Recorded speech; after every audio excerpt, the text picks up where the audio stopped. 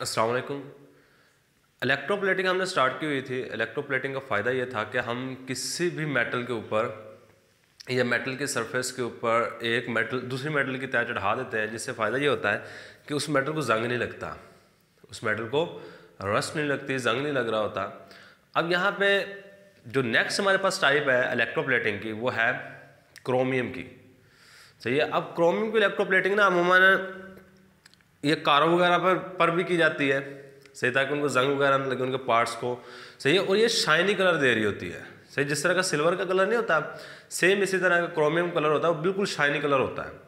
तो अब क्रोमियम के इलेक्ट्रोप्लेटिंग करने के लिए हमें क्या क्या काम करना पड़ेगा, ये चीज़ें सीख लीजिएगा। सही है, सारी की सारी चीज़ें याद रखिएगा, इसमें से ना बड़े शॉर्ट क्वेश्चन पूछे जाते हैं। क्रोमियम के इलेक्ट्रोप्लेटिंग शॉर्ट क्वेश्चन के लिहाज से काफ़ी ज़्यादा इंपॉर्टेंट है। मसलन, इसमें इलेक्ट्रोलाइट कौन सा इस्तेमाल होता है? सेकेंड नंबर में। क्रोमियम की इलेक्ट्रोप्लेटिंग के लिए जो एनोड इस्तेमाल होता है, वो किस चीज़ का बना होता है? ये थोड़ा सा डिफरेंट होगा।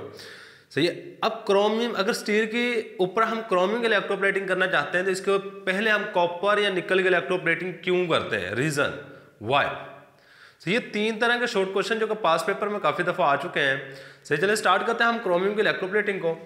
इलेक्ट्रोप्लेटिंग ऑफ़ क्रोमियम क्रोमियम को हम रिप्रेजेंट करते हैं सी आर से। ये भी याद रखिएगा, क्रोमियम को हम रिप्रेजेंट कर रहे होते हैं सी आर सी बड़ा आर छोटा। सही, इसके लिए काम क्या करना पड़ेगा? काम ये सिंपल सा है, आपने एक टैंक लेना है। सही अब ये बात याद रखते जाइएगा। लिख लेंगे लास्ट में। मैंने एक टैंक ले लिया। अब इस टैंक के अंदर सबसे पहले काम यह होता है कि आपने इलेक्ट्रोलाइट ऐड करना है। इलेक्ट्रोलाइट हम कहते हैं जिस, जो हमारे पास जिस चीज़ की इलेक्ट्रोप्लेटिंग करना चाहते हैं, उसी का साल्ट इस्तेमाल करना है। उसी का साल्ट इस्तेमाल कर रहे होना है।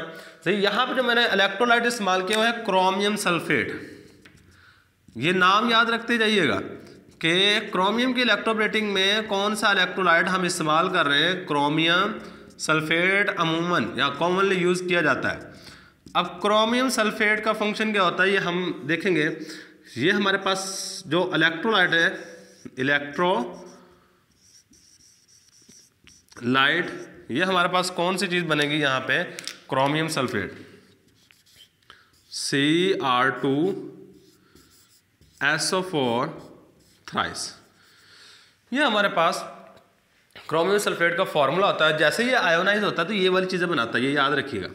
जब ये आयोनाइज होता है तो क्रोमियम प्लस टू बना देता है। सही है? तो प्लस थ्री और कितने बनेंगे? दो। और इसके बाद हमारे पास सेकंड नंबर बन जाता है S O four minus two और यहाँ पे थ्री आ जाएगा। क्योंकि तीन सल्फेट आइन बनेंगे, दो क्रोमियम के आइन बन रहे होते हैं। पहले नंबर पर हमने एक चीज़ सीख ली है जी। हमने जो इलेक्ट्रोलाइट लेना है, वो क्रोमियम सल्फेट क्रोमियम सल्फेट असल में साल्ट है। इसको पानी के अंदर डिजोल्व करना है। पानी के अंदर डिजोल्व करने के बाद आपने यहाँ पर डाल देना है, इसके अंदर बिकर के अंदर। अब नेक्स्ट काम क्या करना है? आपने एक एनोड लेना है। क्या करना है जी, एक एनोड लेके इसके अंदर लगा देना है। अब जो एनोड होता है, एक एनोड लेना है, एक कैथोड लेना है। सही है एनोड और साथ में आपने एक कैथोड लेना होता है। सही है, ये मैं एनोड लेता हूँ, उस चीज़ का हमने ये चीज़ पहले डिस्कस की हुई है। सही है एनोड हमेशा उस चीज़ का लेना है जिसके ऊपर आप इलेक्ट्रोप्लेटिंग करवाना चाहते हैं या करना चाहते हैं। सही है? मैं कहता हूँ मैं चम्मच के ऊपर इलेक्ट्रोप्लेटिंग करवाना चाहता हूँ। सही है? तो यहाँ पे ये जो चम्मच होगा, ये हमारे पास एनोड के तौर पे काम करेगा। सही है? चम्मच किसी भी चीज़ का हो सकता है स्टील का हो सकता है आयरन का हो सकता है। सही है? ये चीज़ें याद रखिएगा। मैं कहता हूँ चम्मच स्टील का, इसके ऊपर मैं इलेक्ट्रोप्लेटिंग करवाना चाहता हूँ। और इसको मैंने बैटरी के नेगेटिव टर्मिनल से जोड़ना है और चम्मच को बैटरी के पॉजिटिव टर्मिनल से। ये नेगेटिव सही हो गया ये हमारे पास जो बैटरी के पॉजिटिव टर्मिनल से जुड़ा होगा, उसको हम एनोड का नाम दे रहे होते हैं, और जो बैटरी के नेगेटिव टर्मिनल से जुड़ा होता है, उसको हम कैथोड का नाम देते हैं. सॉरी ये ना हमने बैटरी के, ये याद रखिए, ये नेगेटिव टर्मिनल से जोड़ना है, और ये पॉजिटिव सॉरी ये वाली चीज़ ना कैथोड होगी. ये वाली चीज़ कैथोड होगी. और जो चीज़ हमने एनोड बनानी है, उस मेटल का बनाते हैं, हम हमेशा कहते हैं एनोड उस मेटल का बनाते हैं जिसकी इलेक्ट्रोप्लेटिंग करनी होती है। यह हमने जनरल मैकेनिज्म के अंदर पढ़ा हुआ है। एनोड किस चीज़ का बनाते हैं जिसकी इलेक्ट्रोप्लेटिंग हमने करनी होती है। सही है? लेकिन यहाँ पे एक थोड़ा सा काम चेंज है। वो क्या है जी? आपने एनोड बनाना है एंटीमोनियल लेड का। एंटी मोनियल लेड इस चीज़ का एनोड बनाना। और ये नाम याद रखिएगा। तो ये पूछा जाता है कि in the chromium in the electroplating of chromium anode is made up of किस चीज़ का बना होता है? एंटीमोनियल लेड तो ये सिंपल सी बात याद रखनी है एंटीमोनियल लेड असल में एक मेटल ही है। तो इसका आपने एनोड बनाना है। एनोड बनाने के बाद क्या थोड़ी किस चीज़ का बनाना है? स्टील वगैरह का, जिसके ऊपर इलेक्ट्रोप्लेटिंग करवाना चाहते हैं। ये सिंपल सी बातें हमने पहले डिस्कस की हैं। ये सारी की सारी चीज़ हम यहाँ पर लिख लेते हैं, ताकि हमारे लिए काम ईजी हो जाए। बाद में हमने रिएक्शन लिखना है। रिएक्शन क्या हो रहे हैं? तो सबसे पहली बात in chromium electroplating chromium electroplating electroplating chromium की इलेक्ट्रोप्लेटिंग में क्या काम हो रहा होता है? सबसे पहला काम। इलेक्ट्रोलाइट जो आपने यूज़ करना है, वो किसका होना चाहिए? Chromium sulphate we use we use हम इस्तेमाल कर रहे होते हैं electrolyte of chromium sulphate electrolyte electrolyte एक ऐसी चीज़ होती है जिसको हम पानी के अंदर एक्वा सोल्यूशन के अंदर हल करते हैं या डिजोल्व उसको मेल्ट करके इस बिकर के अंदर डाल देना है। इलेक्ट्रोलाइट आपने इस्तेमाल करना है क्रोमियम सल्फेट का। क्रोमियम सल्फेट का। अब क्रोमियम सल्फेट का जो इलेक्ट्रोलाइट इस्तेमाल करेंगे, इसका फॉर्मूला भी मैं साथ लिख देता हूँ।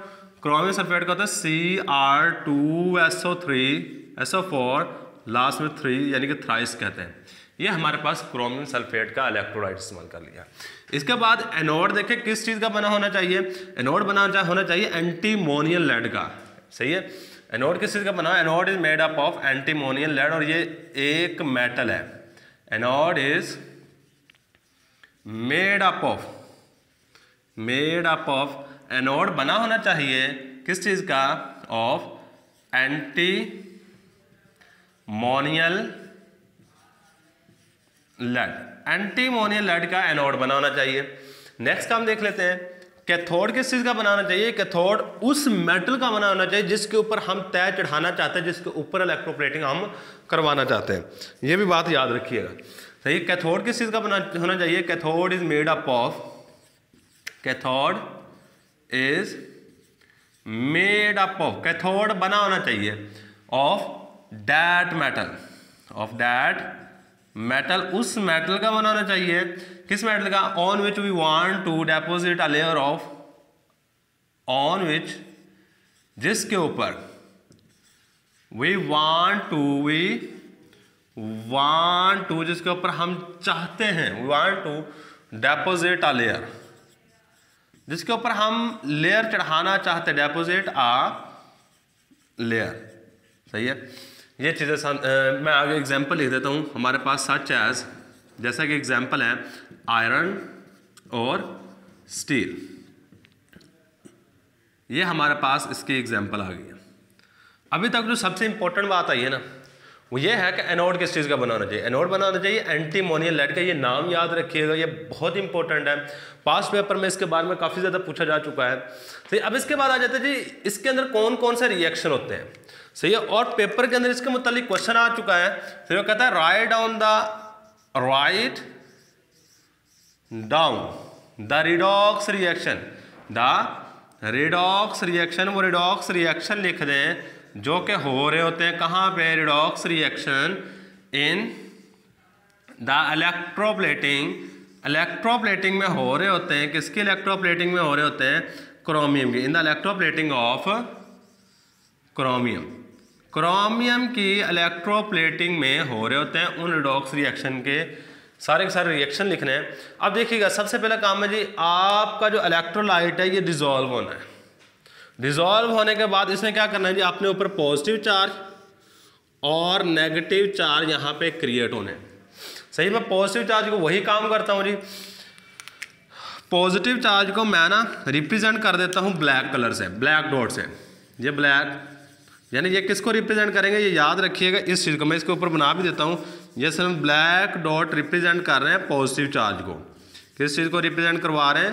पॉजिटिव चार्ज को रिप्रेजेंट कर रहे हैं। और जो ब्लैक है, सही है, जो ब्लू है, उससे हम किसको रिप्रेजेंट करेंगे? नेगेटिव चार्ज क्योंकि ये इलेक्ट्रोलाइट के अंदर बन बन जाता है। जिस तरह हम एन सेल को पानी के अंदर डिजोल्व करते हैं डिजोल्व करने का एन ए प्लस बन जाता है और साथ में सी नेगेटिव बन जाता है। सेम काम यहाँ पे हो रहा होता है।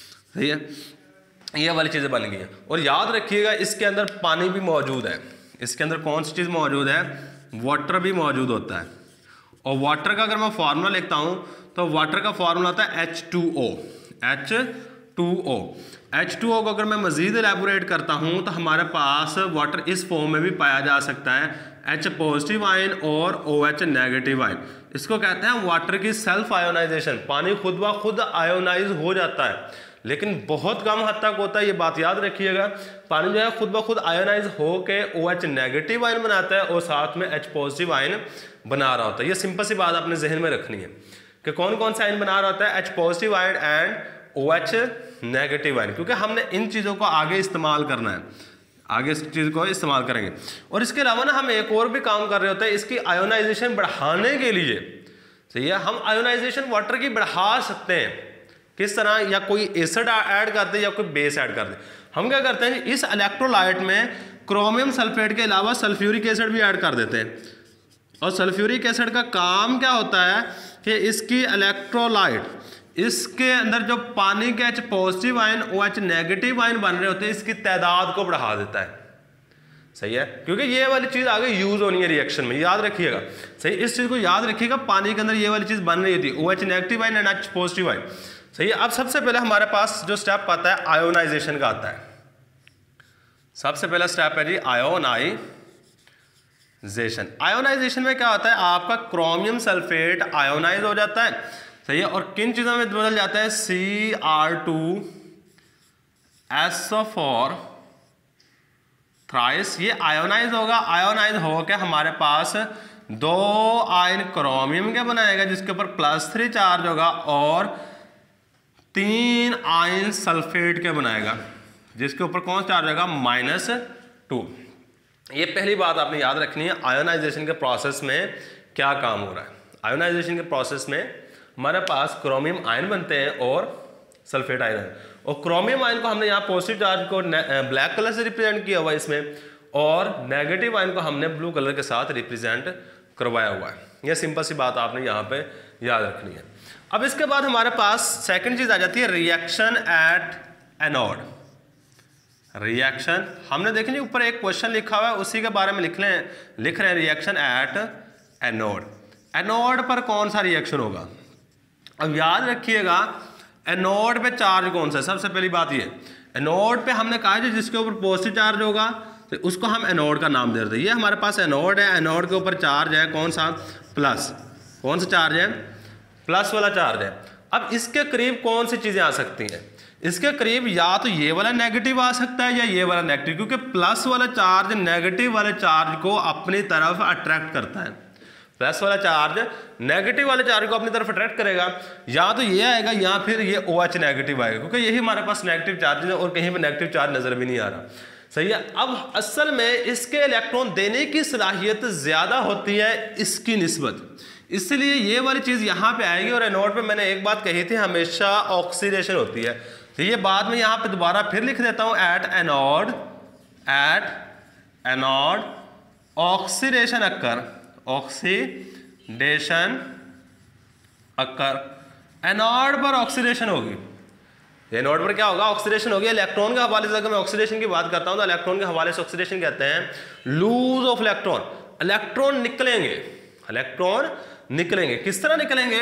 इस तरह कुछ हमारे पास है, चार ओ एच नेगेटिव आयन आपस में मिलते हैं। इसको समझ लीजिएगा। चार ओ एच नेगेटिव आयन आपस में मिलेंगे। मिलने के बाद हमारे पास आगे वाली चीज़ें बन रही होती हैं।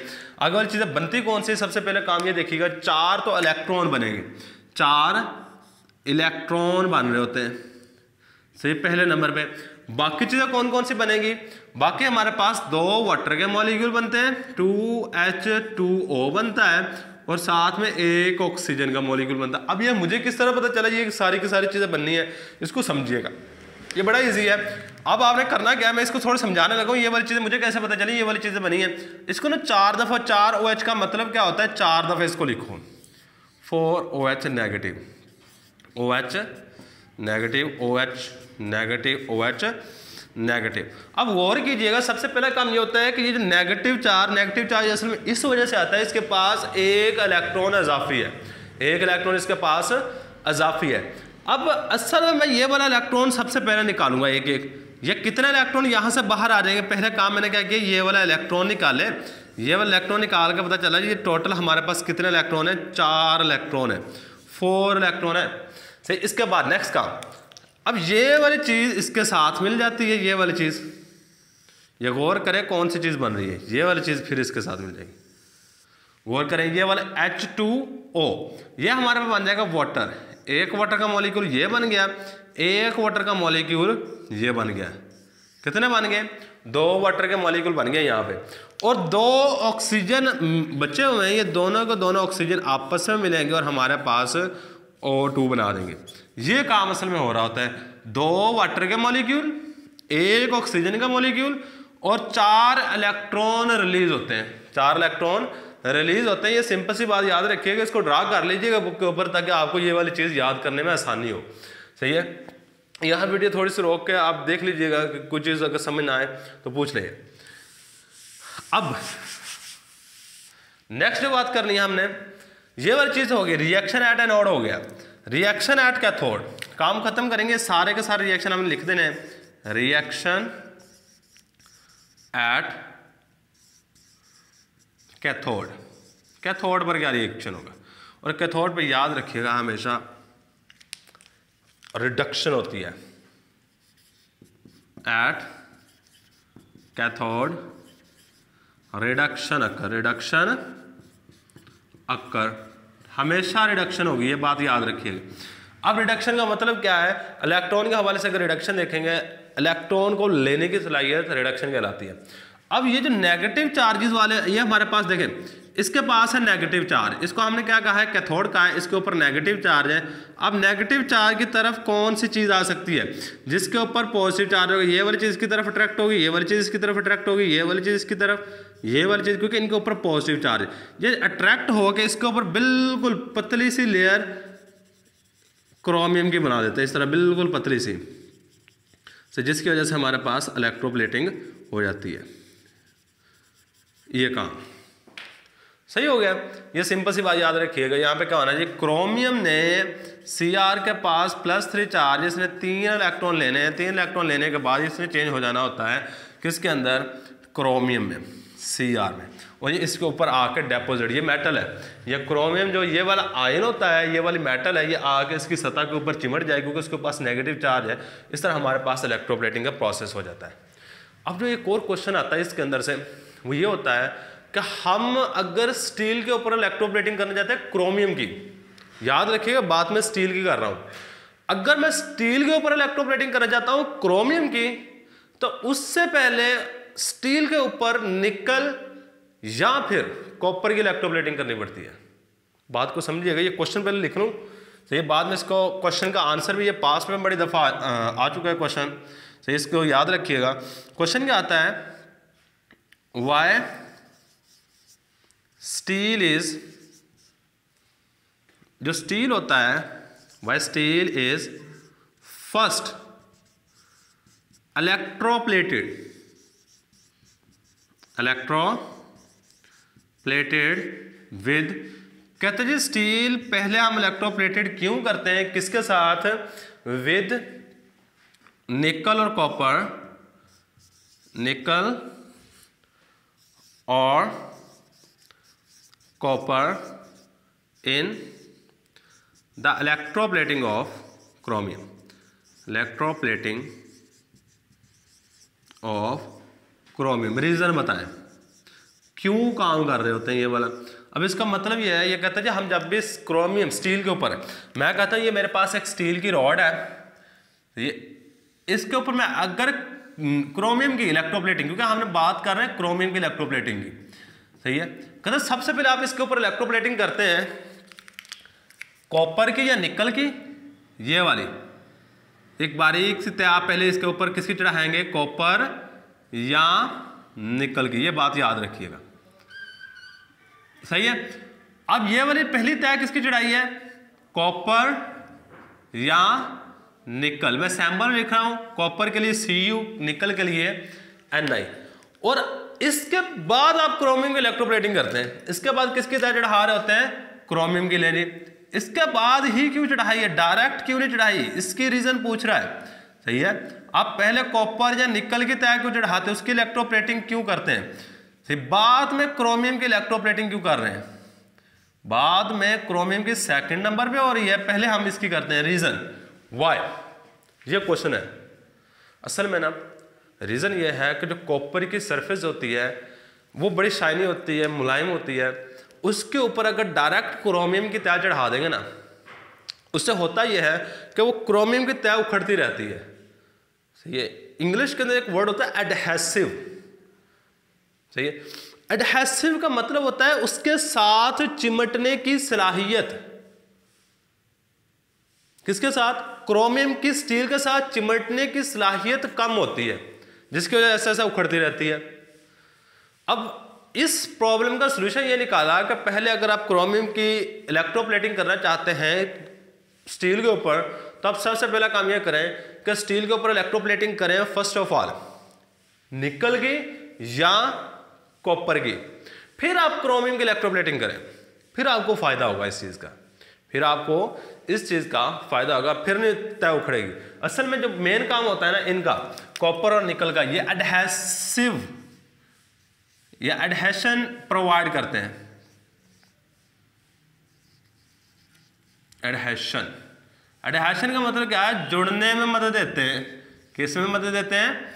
जुड़ने में मदद दे रहे होते हैं। ये सिंपल सी बात आपने अपने जहन में रखनी है। सो यही क्वेश्चन है, यही क्वेश्चन का आंसर लिखना है। सही है? चले जी क्वेश्चन का आंसर लिखते हैं।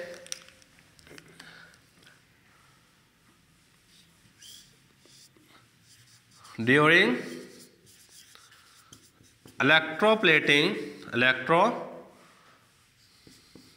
electroplating of steel steel के इलेक्ट्रोप्लेटिंग में हम क्या करते हैं? स्टील फर्स्टली या first we electroplated electro